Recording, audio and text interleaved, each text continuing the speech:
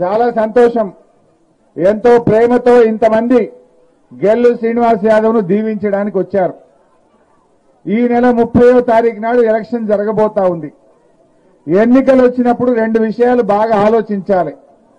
ఏ పార్టీకి ఓటేస్తే మనకు లాభం అవుతుంది ఏ పార్టీ మనకు సేవ చేయగలుగుతుంది. నిన్నటిదాకా మనకు అన్నం పెట్టిన వాళ్ళు ఎవరు రేపు మనను కడుపులో పెట్టి కాపాడుకునేది ఎవరో ఒక్కసారి ఆలోచించాలి. కొంతమంది సెంటిమెంట్లు మాట్లాడతానో మొసలి కన్నీరు గారుస్తానో కాయగొరుకుడు మాటలు మాట్లాడి మాటలు విని ఓట్లేస్తే మనం నష్టపోతాం. నేను వీణవంక ప్రజల్ని ఒకటే కోరుతున్నా న్యాయాన్ని గెలిపించండి ధర్మాన్ని నిలబెట్టండి పనిచేసే ప్రభుత్వాన్ని దీవించండి అని నేను కోరుతా ఉన్నా. ఇవాళ మీ ముందు రెండు విషయాలు చెప్తా. పోటీలో కాంగ్రెస్ పార్టీ ఉన్నదా? కౌశిక్ రెడ్డి టిఆర్ఎస్లో చేరిన తర్వాత కాంగ్రెస్ పార్టీ ఖాళీ. ఉన్నదా? ఇక ఉన్నది. ఇక ఉన్నది. ఒక నిమిషం బిడ్డ. ఇక ఉన్నది రెండే పార్టీలు. TRS party BJP party. Etela Rajender గారిని కేసీఆర్ గారు పెంచి పెద్ద చేసిండు. మీకే మీరే సాక్ష్యం దానికి. వెనుకట ముద్దసాని దామోదర్ రెడ్డి గారి మీద రెండు వేల నాలుగులో రాజేందర్ గారికి టికెట్ ఇచ్చినాడు. రాజేందర్ గారు మీకు తెలుసా కనీసం? మీకు పరిచయం ఉన్నదా ఈటల రాజేందర్ గారు. మరి ఆ రోజు మీరు గెలిపించిందంటే గులాబీ కండువాన్ని చూసి గెలిపించిండు కేసీఆర్ గారిని చూసి గెలిపించిండు కారు గుర్తును చూసి గెలిపించిండు కానీ రాజేందర్ గారు నన్ను చూసి గెలిపించిండు అని మాట్లాడుతున్నాడు. ఒక తల్లి కన్న కొడుకుని ఎంతో ప్రేమగా పెంచుకుంటుంది. ఆ తల్లి మన తమ్ముడు కాబోయే ఎమ్మెల్యే గెల్లు శ్రీనివాస్ యాదవ్ గారికి స్వాగతం సుస్వాగతం. మంచిగా తక్కువ పెట్టు.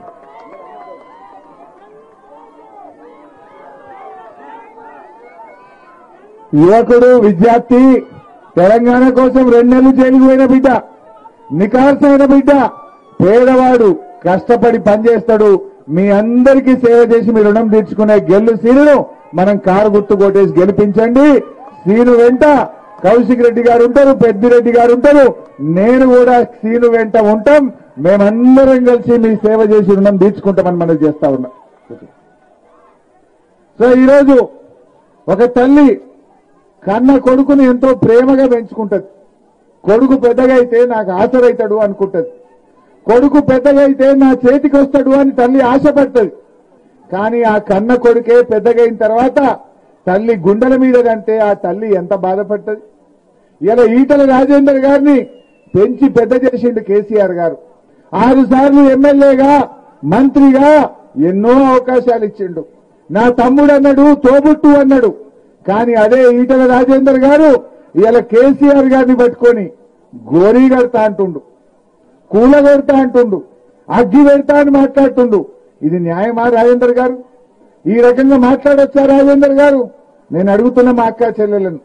ఏ తల్లి అయినా ఏం కోరుకుంటాడు? ఏ తండ్రి అయినా ఏం కోరుకుంటాడు? పెంచి పెద్ద చేస్తే మరి సేవ చేస్తాడు అని ఆశిస్తారు. కానీ రాజేందర్ గారు ఈ రోజు పెంచి పెద్ద చేస్తే ఇవాళ అన్నం పెట్టిన చేయికి సున్నం పెట్టినట్టు చేస్తా ఉన్నాడు ఈటల రాజేందర్ గారు. పోయి పోయి ఏ పార్టీలో చేరిండు? బీజేపీ పార్టీలో చేరిండు. నేను అక్క చెల్లెల్ని అడుగుతున్నా బీజేపీ పార్టీ నుంచి మీకు ఏమైనా సేవ జరిగిందా చెల్లె? ఏమైనా ఇచ్చిందా? బండి సంజయ్ గారిని మనం ఎంపీగా గెలిపించుకున్నాం రెండున్నర ఏండ్ల కింద. రెండున్నర ఏండ్లలో బండి సంజయ్ గారు మనకేమైనా సేవ చేసిందా? మన పక్కన రామకృష్ణాపూర్ను దత్తత తీసుకున్నాడు బండి సంజయ్ గారు. ఏమైనా తచ్చడు మట్టి పోసిండా రూపాయి పని చేసిందా?